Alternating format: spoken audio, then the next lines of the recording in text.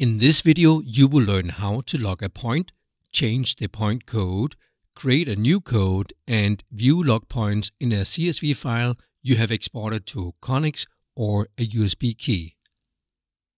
We use the dozer here, but the video covers the following applications. Dozer, grader, excavator. Together with the model for this project, we get a point code list specific for the project. For further information about this, look in the reference manual. We start in the Run screen. Let's log a point.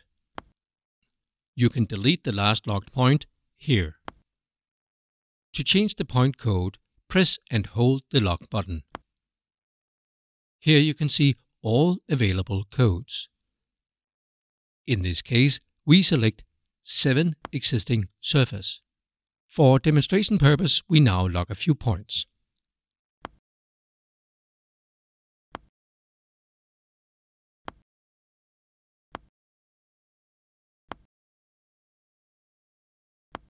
For further options, press the Quick Access button in the right corner.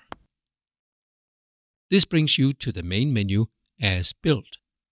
In this menu, we can change which part of the machine we use for logging points. The options are height tool point, side tool point, a specific position on the blade regardless of the tool point's location, or on the ground in the center of the machine. Right now, it will use the height tool point. Press here for further options with codes.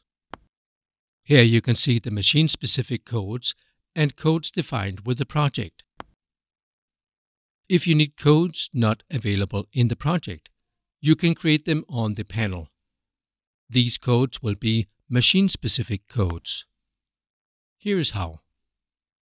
Press New, define a point code and a log name. Press the flag to save and store. Now we have created a new machine-specific code. Press OK.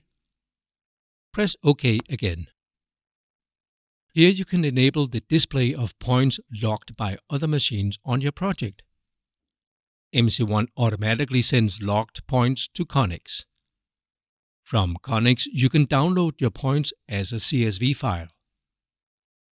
As you can see, the CSV file has all the relevant information you could get the same result by synchronizing to a USB key. That's it.